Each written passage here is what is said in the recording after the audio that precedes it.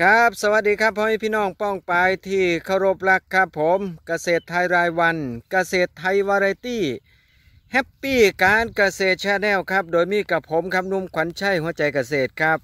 นักสร้างแรงบันดาลใจทั้งด้านการเกษตรนะครับ มารายงานตัวกับพี่กับน้องคือเก่าเหมือนเดิมเป็นประจำเลยทีเดียวนะครับ ครับพี่น้องครับสำหรับมื้อนี้ครับเฮาอยู่กันม่องนี้ครับ โคกหนองนาทามมะค่า มหาสารคามครับพี่น้องครับนี่พี่กัดนี่อยู่บ้านมะคาตำบลมะคาอำเภอกันทรวิชัย จังหวัดมหาสารคามนะครับ พื้นที่ของการเฮ็ดหน้าปังเนาะ20ไร่ครับพี่น้องครับสำหรับสายพันธุ์เขานะครับ ที่ทำการเพาะปลูกอยู่มองนี้นะครับก็คือไก่ทองคำ89 ครับพี่น้องครับ เป็นข้าวเจ้านาปังนะครับ สายพันธุ์ที่กำลังมาแรงที่สุดนะครับในขณะนี้นะครับ ซึ่งตอนนี้นะครับได้หาซิบก็มือแล้วครับพี่น้องครับนี่ นี่ครับก็ทำการว่านปุ๋ยนะครับ เมื่อสองสามมือที่ผ่านมาครับ พี่น้องครับนี่ลำต้นตั้งตรงนะครับลำต้นใหญ่แล้วก็แตกกอดีครับพี่น้องครับนี่ นี่คือต้นเขาที่พึ่งสามครับพี่น้องครับนี่ นี่ครับแตกกอดีปันยังเนาะครับเนาะเอาครับพี่น้องครับสำหรับเรื่องเล่าที่เฮาสิเว้าจากันนะครับสำหรับมื้อนี้นะครับ นั่นก็คือเรื่องของการกำจัดหญ้าอีกชนิดหนึ่งครับ แต่ว่าเบื้องต้นเฮามาเบิ่งผลงาน สำหรับการกำจัดหญ้าข้าวนกหญ้าพุ่มพวงหรือว่าหญ้าจงเจริญนี่ครับพี่น้องครับนี่สำหรับสีเหลืองๆนะครับก็คือสีของหญ้าเนาะเที่เราทำการฉีดพ่นนะครับ เมื่อสัปดาห์ก่อนผลปรากฏว่านี่ครับเขามาเบิ่งใกล้ๆเนาะผลปรากฏว่านี่ครับสำหรับหญ้าข้าวนกหญ้าจงเจริญหรือว่าหญ้าพุ่มพวงนี่ครับ ผลปรากฏว่าตอนนี้ครับพี่น้องครับนี่เหลียง เหี่ยวแห้งไปเลยทีเดียวนะครับสำหรับต้นหญ้าเนาะแต่สำหรับต้นเขาห้าพี่น้องครับเนี่ยไม่แดงไม่บัดไม่งันแล้วก็ไม่ตายครับนี่สำหรับการฉีดเท่ากับฉีดใส่เฉพาะตรงที่มีหญ้าเนาะแต่ว่าบริเวณรอบๆนะครับก็มีต้นเขาอ้อมๆอยู่นี่เนาะอ้อมๆต้นหญ้าอยู่ ผลปรากฏว่าบ่เป็นหยังเลยครับ นี่คือผลงานของ A Cross และก็อวอนกาดนะครับ ตายเฉพาะหญ้านะครับเนาะส่วนต้นเขาเป็นปกติเลยทีเดียวนะครับ เอาครับพี่น้องครับสำหรับมือนี้นะครับเฮาสิไปเบิงเรื่องของการกำจัดหญ้าอีกชนิดหนึ่งนะครับ ซึ่งเป็นหญ้าคนละโตวนะครับ กับหญ้าเขานกเนาะขณะที่เฮากำลังสิยางไปเบิงนะครับสำหรับหญ้าที่เป็นเป้าหมายเฮานะครับ ในการสิกำจัดเนาะเฮากลับมาเบิงนะครับสำหรับให้หน้านี่นะครับ ที่ทำการฉีดยาเขานกนะครับ ตอนนี้ก็ได้ประมาณหาหกมือแล้วครับ ผลปรากฏว่านี่ครับหญ้าเหลืองเออเฮอเลยทีเดียวนะครับ ส่วนต้นเขานะครับเป็นปกติเนาะนี่ครับนี่บ่เป็นยั้งเลยครับก็คือยังผมบอกจะให้พ่อพี่น้องป้องไปนะครับได้รับฟังกันนะครับ ว่าไม่บัดไม่งันและก็ไม่ตายครับ เอาครับพี่น้องครับ ตอนนี้เฮาพร้อมแล้วครับเฮาสิไปเบิ่งหญ้าที่เฮาสิทำการกำจัดในมือนีกันเลยครับ ผม ไปครับ เอาครับพี่น้องครับสำหรับตอนนี้นะครับเฮากับมายั่งให้หน้าของเฮานะครับ ที่เป็นเป้าหมายนะครับที่เฮาสิไปเบิ่งหญ้าเนาะครับเนาะว่าหญ้านี่คือหญ้าชนิดไหนนะครับเขาเอื่นซื้อว่าจังไหนแล้วก็มีวิธีการในการกำจัดจังไหนเนาะซึ่งเฮาก็สิไปปรึกษาผู้เชี่ยวชาญนะครับสำหรับทีมงานเฮาเนาะครับเนาะเอาครับพี่น้องครับสำหรับไฮนี่นะครับก็เป็นไฮที่เข่าง่ามอีกไฮหนึ่งนะครับอยู่ติดถนนเนาะผลปรากฏว่า ร้อยละ 99เปอร์เซ็นต์นะครับง่ามแล้วก็บ่มีหญ้าเนาะแต่ว่ามันมีบางพื้นที่ครับพี่น้องครับนี่ มันเนิ่นๆแหน่จักหน่อยเนาะครับเนาะบานีน้ำมันก็เลยบ่หองซ้ำมูนะครับ เนื่องจากว่ามันเป็นพื้นที่ที่สูง เป็นพื้นที่ที่เป็นโน่นแหน่จักหน่อยนะครับดังนั้นหญ้าก็เลยเกิดครับพี่น้องครับนี่ครับมีอยู่ประมาณจักสองสามสี่หาเวิ้งไปนี่ครับ พี่น้องครับนี่ ซึ่งกระเฮ็ดให้เขาตรงบริเวณนี้นะครับเนาะบ่จะเริ่มเติบโตเท่าที่ควรนะครับ เนื่องจากว่าหญ้าชนิดนี้นะครับ ก็ได้แย่งอาหารนะครับ จากต้นเขาไปเนาะพองน้ำก็บ่ถึงเนาะครับเนาะเอาวันนี้เขามาสำรวจกันนะครับ ว่าหญ้าชนิดนี้คือหญ้าหยังเนาะครับนี่เนาะนี่ครับพี่น้องครับสำหรับลักษณะของหญ้าเนาะครับเนาะบุ้ยตอนนี้ก็ออกดอกเป็นที่เรียบร้อยแล้วพี่น้องครับ แต่ว่าดอกกับพ่ท่านไหนแก่ดอกครับพี่น้องครับนี่ ซึ่งในพื้นที่ของบ้านมะคาตำบลมะคาอำเภอกันทราวิชัย จังหวัดมหาสารคามนะครับ เพิ่นเอิ้นหญ้าชนิดนี้ว่าหญ้าผือหัวขอดว่าซั่นว่า บางพื้นที่เพิ่นก็เอิ้นว่าหญ้าหัวขอดซื่อๆเนาะครับเนาะซึ่งลักษณะของลำต้นนะครับก็มีลักษณะคล้ายๆต้นผือเนาะครับเนาะนี่ครับลำต้นเป็นเหลี่ยมเป็นสามเหลี่ยมคล้ายๆกับผือเนาะครับเนาะเอ่อ ความสูงนี่ก็ประมาณเพียงหัวเข่าครับพี่น้องครับเพียงหัวเข่าเนาะส่วนดอกก็สิเป็นช่อแบบนี้นะครับ ในแต่ละต้นนะครับเนาะบุ้ยนี่ครับ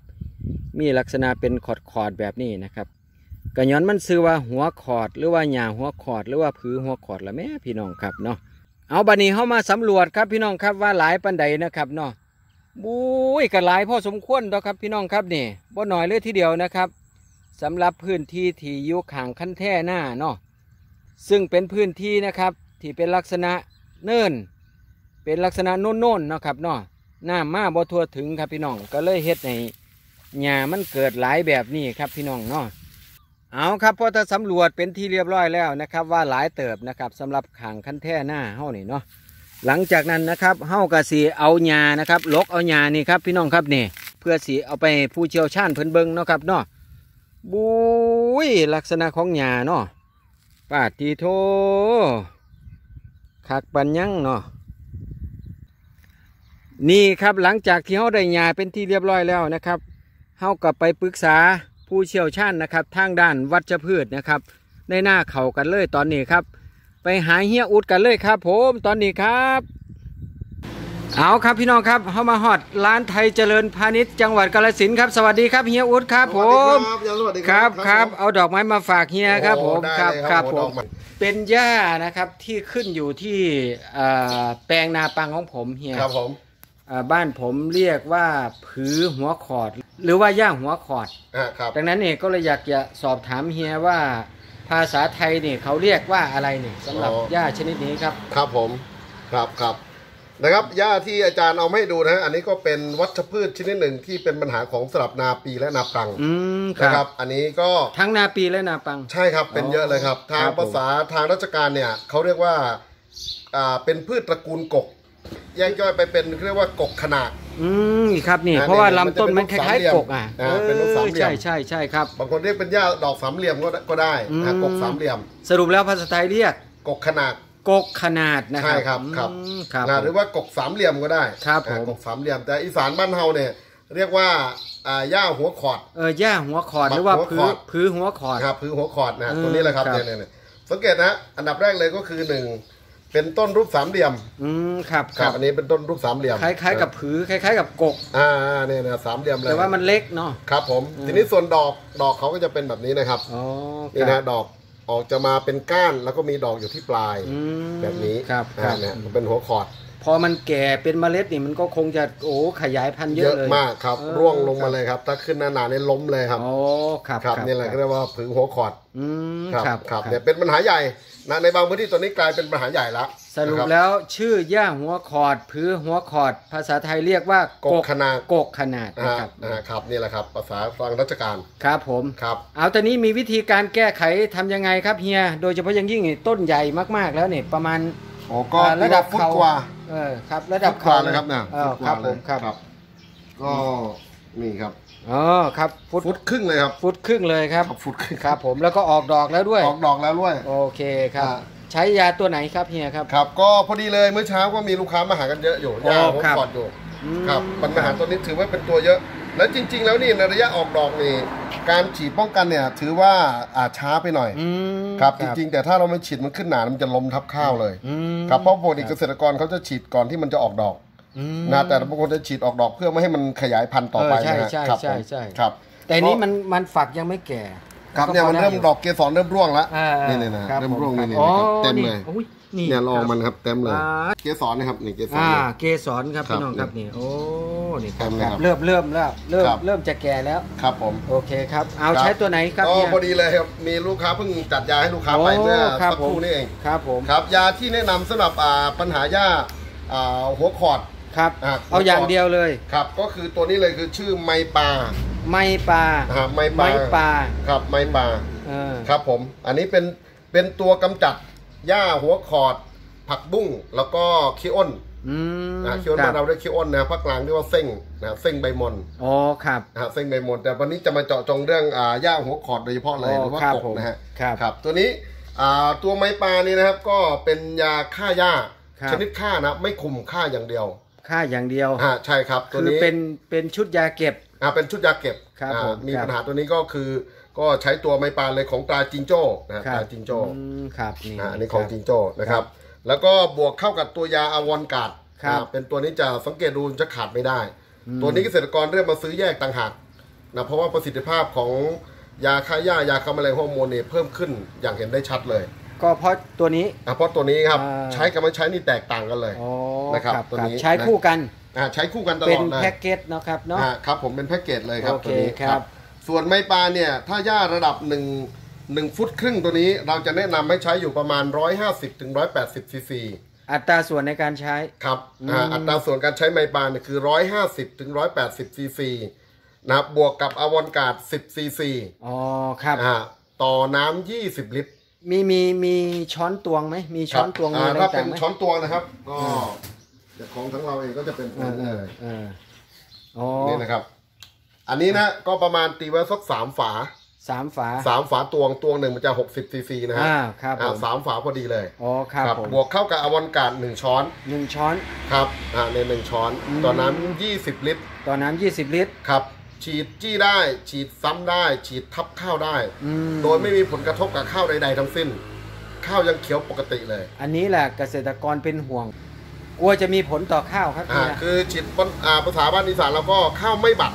ข้าวไม่บัด อ่าข้าวไม่บัดเลยอืมอ่าครับ ครับ อันนี้จี้ได้เลยซ้ำได้เลยไม่แดงไม่บัดไม่งันไม่ตายฮะใช่ครับอ๋ออ่อ่านี่ไม่มีผลกระทบกับข้าวใดๆทั้งสิ้นอ๋อไม่ปลาบวกอวอนการ์ดสรุปแล้วคือใช้ตัวไหนนะครับเฮียอ่าไม่ปลานะครับ ไม่ปลาตัวนี้อัตราสามฝาตวง ครับ บวกกับอวอนการ์ดหนึ่งช้อน หนึ่งช้อนหนึ่งช้อนแค่นั้นเลยเฮีย อ่าหนึ่งช้อนแค่นี้นะอ๋อต่อครับผมน้ำยี่สิบลิตร ต่อน้ำยี่สิบลิตรคครัรับบฉีพี่ดน้องพ่นคทัรับ บข้าวได้เลย ข้าวไม่มีปัญหาเรื่องการ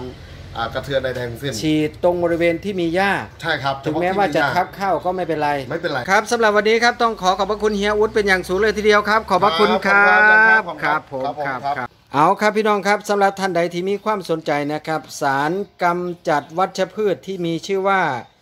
หญ้าหัวขอดหรือว่าผือหัวขอดนะครับหรือว่ากกขนาดนะครับก็สามารถประสานมาได้ครับ 0899428684 ครับหนุ่มขวัญชัยหัวใจเกษตรนะครับ อีกครั้งหนึ่งครับ 0899428684 นะครับ ทั้งเบอร์โทร แล้วก็ ID Line นะครับสำหรับสารป่าวัชพืชนะครับ ที่มีชื่อว่าหญ้าหัวขอด กกหัวขอดหรือว่ากกขนาดครับ เอาจังได้ติดต่อประสานงานมากันแล้วกันนะครับ เอาสำหรับวันนี้ครับ ผมนุ่มขวัญชัยหัวใจเกษตรนะครับ ขอลาจากพี่น้องปองปายไปเพียงเท่านี้ครับ เพราะว่าสิเตรียมในการที่เอาไม้ปลากับอวอนกาดนะครับ ไปลุยกกขนาดหรือว่าพื้หัวขอดเนาะเอาครับสำหรับวันนี้ครับ ขอกล่าวคำว่าสวัสดีครับผม